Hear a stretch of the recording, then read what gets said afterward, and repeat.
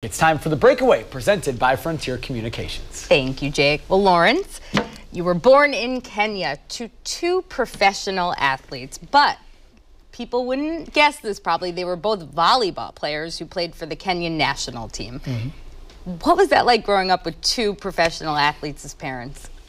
For one, I had to know volleyball. I, I, had to play volleyball. Okay. Yeah, but uh, I knew I was going to be an athlete at some point, so it just just didn't know which one, which sport I was going to pick. So you were choosing between volleyball and football, yeah. soccer here. Yeah. How, uh, when did you make the decision to go with soccer? I think the choice was made for me okay. uh, when I got a scholarship to come to the U.S. and play for Missouri Baptist. Uh, that was the moment I knew I was going to play soccer at least for the next four seasons, uh, four years. And had you dreamt about going to college before, or was this kind of came up and you couldn't pass it down, obviously. no, the Kenyan education system is pretty, it's pretty good. I knew uh, with the education I had, I was going to go to university. I just didn't know where it was going to be. Is it going to be in Kenya or somewhere else? Uh, because uh, a couple of my friends already had come to the U.S., so uh, he was there, but that was not my biggest focus then. So what was that like coming over to the U.S.? First time you had ever made the trip out of Kenya, right? Mm -hmm. To the U.S. Yeah, yeah, yeah. yeah. Uh, uh, coming, uh, we, I first came to the U.S. in, we're in uh, St. Louis, Missouri. Mm -hmm. upon get, getting there, I thought, wow, I'm coming to a small town because Nairobi is a pretty. it's the largest yeah, city in pretty, Kenya. Yeah, and uh, everything was fast there, and then coming here, kind of slowed down. So it was a great surprise for me. I, I enjoyed it, and I've never lo uh, looked back since. And I know that your mom has been able to come over here to watch you play. Your mm -hmm. dad hasn't come to the U.S. yet, not, right? Not, not yet.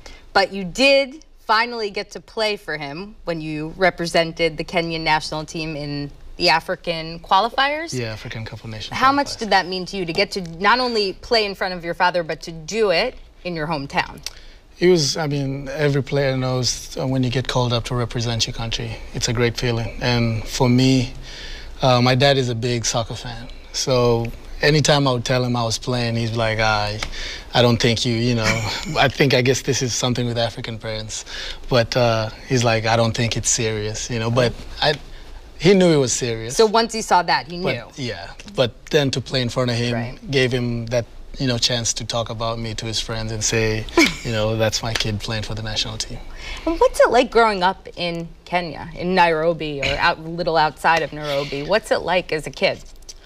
Uh, it's got its up uh, ups and downs. Uh, I, I was fortunate fortunate enough to grow in a you know in a middle class family there, and I got to see both sides of you know uh, Nairobi, which is the poverty and the not so right. you know bad, but I would not trade it for anything. It's made me who I am and how I deal with people, how I relate to things, and just everyday life.